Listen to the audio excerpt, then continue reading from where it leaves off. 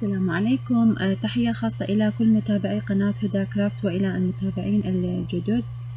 أه بعد ما أه بالفيديو السابق كملنا الصفحة الأولى واللي هو هذا شكلها وإن شاء الله أترك لكم الرابط الخاص بها في صندوق الوصف. اليوم راح نعمل أو نشتغل على الصفحة رقم اثنين. طبعا حضرت هذه الصفحة وغطيتها بطبقة من الجسو أو ممكن تغطوها بطبقة من ألوان الأكريليك اللي باللون الأبيض. آه هنا عندي هذا الختم اللي هو بشكل باقة من الزهور.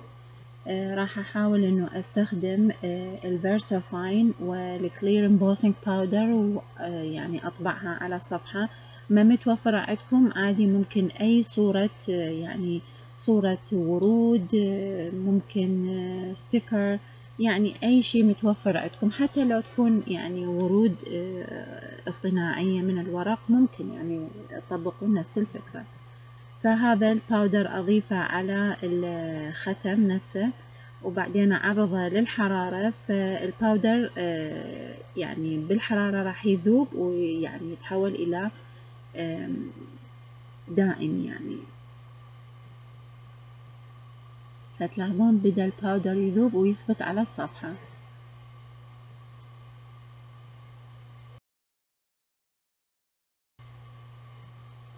وهنا فكرت إنه ألصق ورقة أو صفحة أخرى بحيث أنطي هذه الصفحة نوع من الثخن والمتانة.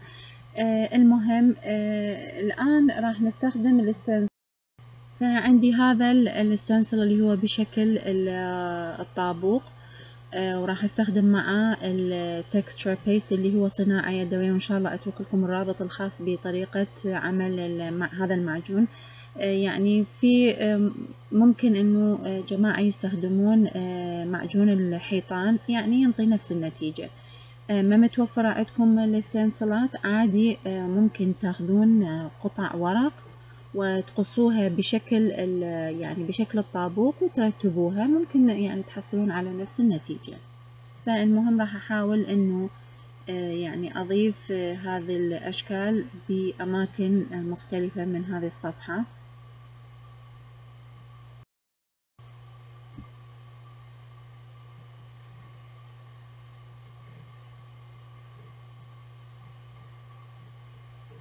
فالمفروض هذا أتركه يعني لمدة ربع ساعة لحد ما يجف أو ممكن نجففه إحنا باستخدام المجفف. وبعدها نبدي بالتلوين.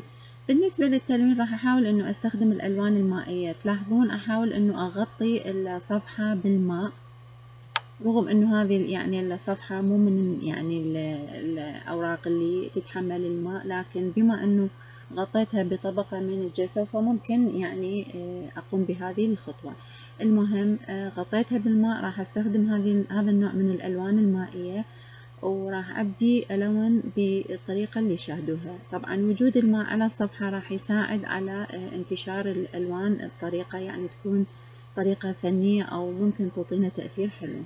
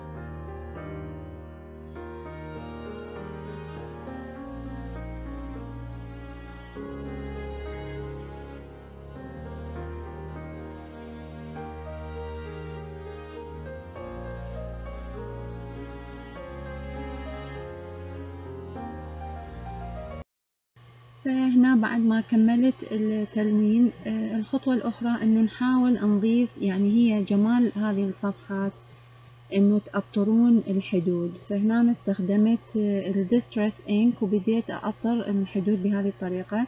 ممكن أنتو تستخدمون قطعة اسفنج ألوان أكريليك يعني كميات قليلة وتبدون تلونون الحدود أو حواف الصفحة بهذا الشكل.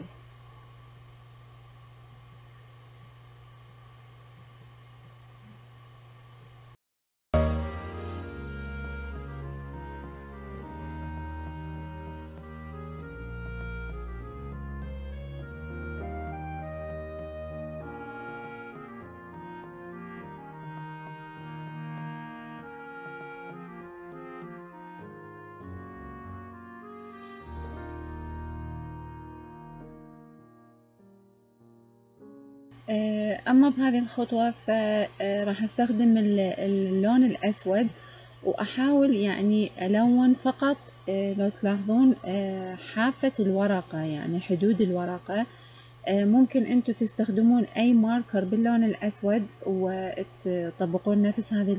يعني الخطوة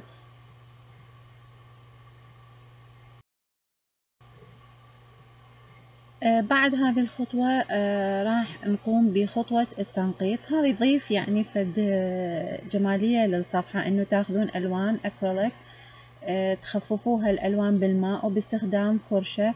طبعا كل ما تكون الفرشة ناعمة كل ما تكون النقاط يعني تكون أحلى ويعني تحصلون على نتيجة أفضل. فمجرد إنه يعني تاخذون الفرشة وتبدون يعني تقومون بهذه الحركة حتى تحصلون على هذه النقاط.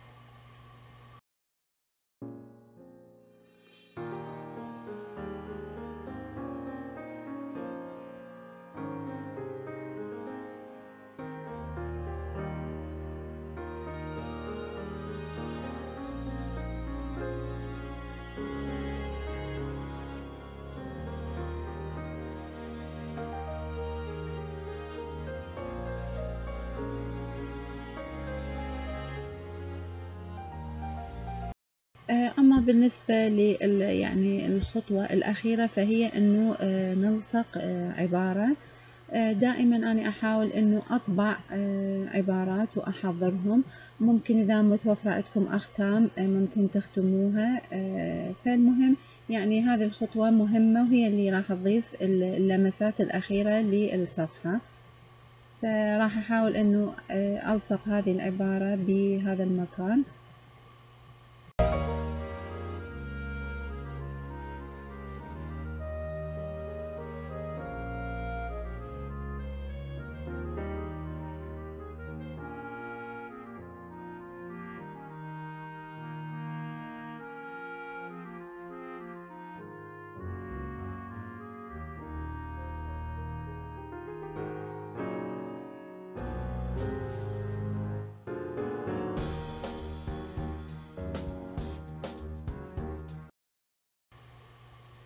بهذه الخطوة راح أحاول إنه أستخدم هذه الفرشة اللي هي اسمها Wing of Stella Brush.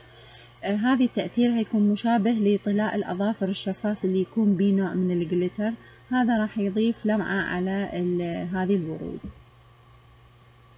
تلاحظون اللمعة؟